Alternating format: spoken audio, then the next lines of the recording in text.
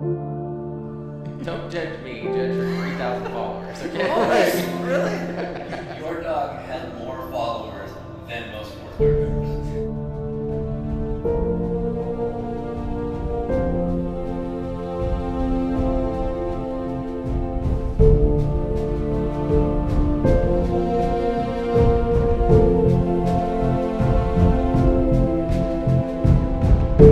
profession for the right people, but Yeah. there's a lot of schmucks out there too. Sure. You know, that car should have won about, literally about 10 races. Weird guys like, you know, Bugle Tom, you know, I mean, every, It's an old adage, the third owner will be the one that makes money. All you can do is go and rant and yell about something or say, gosh, this is the best and this person's Forty the million best. dollars to build the computer model, computer simulation model of the B Sports race. I've abandoned my child. I've abandoned my child.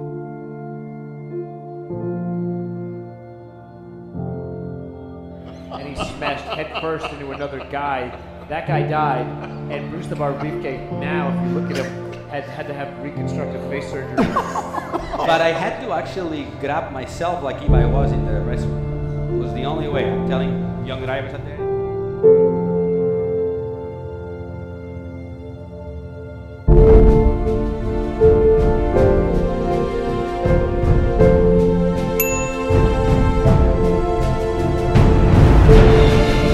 I want to say. Yeah, pissed piss you wanna sit sit on. in his.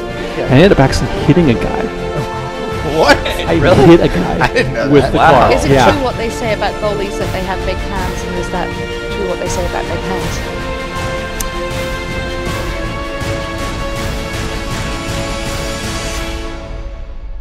tell you, you two, uh, some advice, if I may, Absolutely. may do give you some because I'm First a you little should older. shave. Is uh, don't give up your day job. Stay out of catering, will you?